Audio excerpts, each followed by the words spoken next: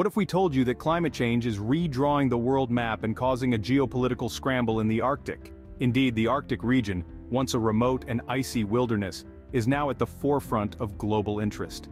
Thanks to climate change, this frigid frontier is rapidly transforming, revealing untapped resources and opening new strategic pathways. As the ice melts away, nations are eyeing the Arctic's vast natural resources, from oil and gas reserves to rare earth minerals. The region's strategic location is also causing a stir, offering potential new shipping routes that could reshape global trade. The Arctic is no longer just a barren wasteland of ice and snow, it's a hotspot for geopolitical tensions, a stage for power plays between nations, and a symbol of our changing world. In this video, we will journey through the geopolitical dynamics of the Arctic region, exploring the effects of climate change, the competition for resources, and the strategic interests of Arctic nations. The Arctic, often seen as a remote and desolate region, has a rich history of geopolitical intrigue.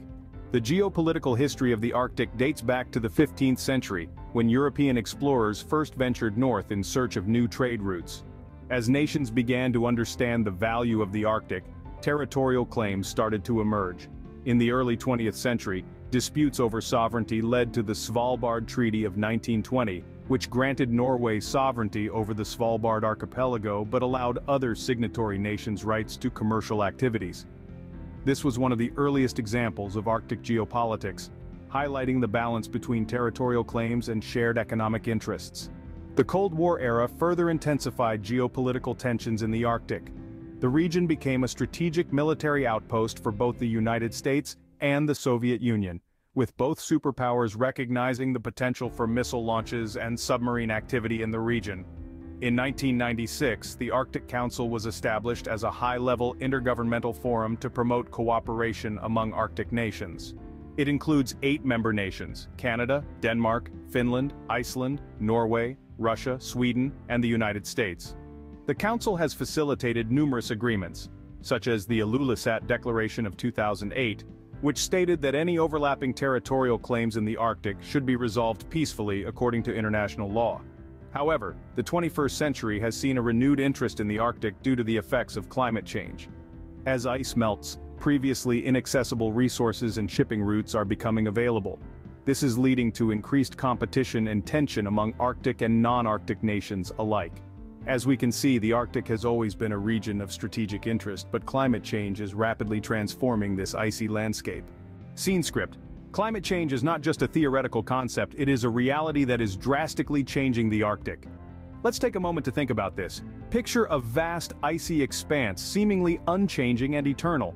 Now imagine that ice melting away, the sea levels rising, and the once impenetrable white wilderness becoming a navigable ocean.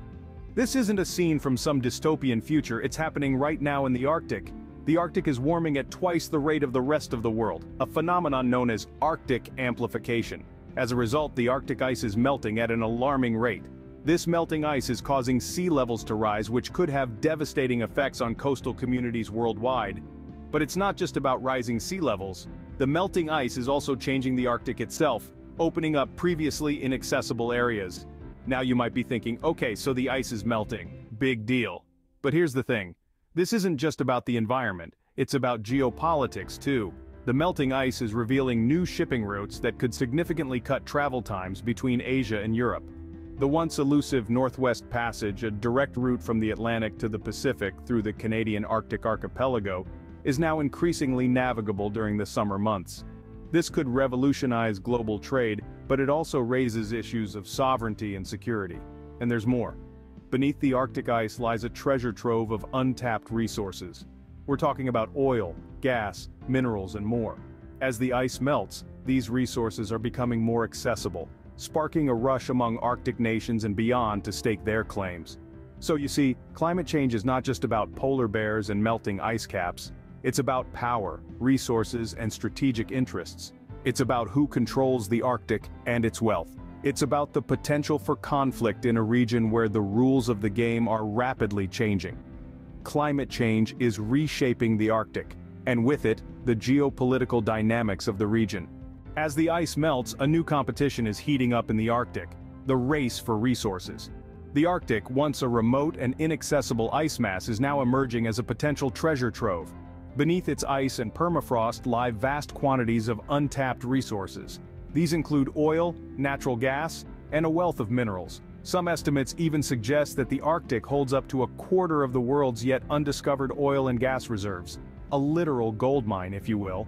But it's not just about oil and gas.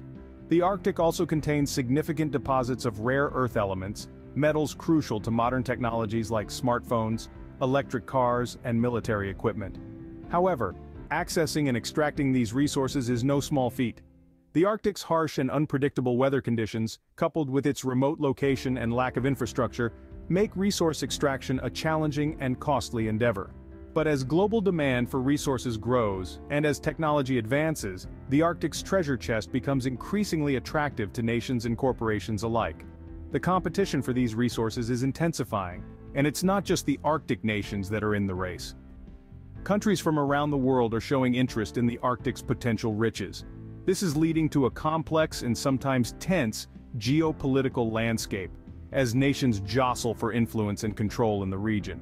But let's not forget the elephant in the room, or rather, the polar bear on the ice floe. The extraction of Arctic resources presents significant environmental challenges. There's the risk of oil spills, which would be incredibly difficult to clean up in the Arctic's harsh conditions. There's also the fact that the extraction and use of these resources, particularly fossil fuels, could further exacerbate climate change. Moreover, the rights and interests of the Arctic's indigenous peoples who have lived in and cared for these lands for thousands of years must also be considered. They too are stakeholders in this race for resources, and their voices and rights cannot be overlooked. The race for Arctic resources is on, and it's a race with high stakes for the environment and international relations. But resources aren't the only thing at stake in the Arctic, there are also strategic interests to consider. The Arctic, with its vast icy landscapes and remote location, may seem an unlikely focal point for geopolitics. Yet, its strategic significance is immense, and the interests of Arctic nations extend far beyond the allure of untapped resources. Firstly, let's talk about military advantages. The Arctic, with its proximity to several major powers, offers a vantage point that is hard to ignore. Think about it. The Arctic is essentially a direct route over the top of the world, connecting east with west. This makes it a potential hotspot for military activities, including surveillance, missile defense, and submarine warfare. In fact, during the Cold War the Arctic was a key theater for submarine patrols by both the United States and the Soviet Union. Today, as the ice melts and access improves, the strategic importance of the Arctic as a military zone is only likely to increase. Furthermore, control over shipping routes is another key interest. As the ice retreats, new shipping lanes are opening up, most notably the Northern Sea Route along Russia's Arctic coast and the Northwest Passage through the Canadian Arctic Archipelago.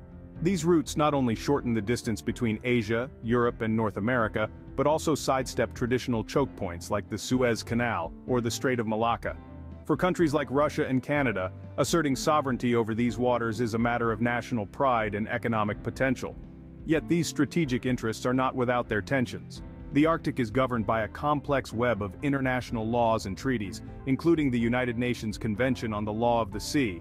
However, territorial claims to the Arctic seabed, which could extend a country's rights to resources and control over shipping routes, are still a contentious issue. Moreover, the increasing military presence and activities in the Arctic are cause for concern. While the Arctic nations have generally maintained a cooperative stance, the potential for conflict cannot be ignored. The Arctic Council, a forum for Arctic nations and indigenous communities, has done much to foster dialogue and cooperation. Still, as the stakes rise, so does the potential for tension and conflict. And let's not forget the potential impacts on the indigenous communities who call the Arctic home, their lives and livelihoods are intertwined with the Arctic and its future. And while they have a seat at the table through the Arctic Council, their voices are often drowned out by the clamor of geopolitical interests. As the Arctic opens up, it's not just about who gets what resources, it's also about who controls this strategically important region.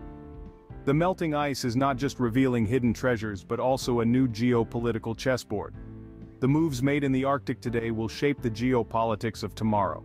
So, what does the future hold for Arctic geopolitics? As we peer into the crystal ball of the future a few potential scenarios emerge. These are shaped by factors like continued climate change, technological advancements, and the dynamics of international cooperation or conflict. Climate change is the wild card in this deck. As the ice continues to melt at an unprecedented rate, the Arctic is progressively opening up. This newfound accessibility could escalate competition for its rich resources. If we continue on our current trajectory, the race to exploit these untapped reserves of oil, gas and minerals could intensify, potentially sparking conflicts among nations. On the flip side, technological advancements could either fuel or mitigate these tensions. On one hand, breakthroughs in extraction and shipping technologies might amplify the rush for resources. On the other hand, advancements in renewable energy technologies could reduce the allure of Arctic fossil fuels thereby easing competition. The future of Arctic geopolitics will also hinge on the path of international relations. Will nations opt for cooperation or conflict? If they choose cooperation, we might see the emergence of new governance structures, perhaps even an Arctic treaty, akin to the Antarctic Treaty. This could set rules for resource extraction, navigation, and environmental protection, fostering a peaceful and sustainable Arctic. However, if nations choose conflict, the Arctic could become a theater for power struggles. In this less optimistic scenario, we might see militarization and territorial disputes, threatening global security and the fragile Arctic ecosystem. In any case, one thing is certain. Technological, political and environmental changes are rapidly transforming the Arctic. The region is shedding its old skin of being a remote and isolated wilderness. The Arctic of the future will be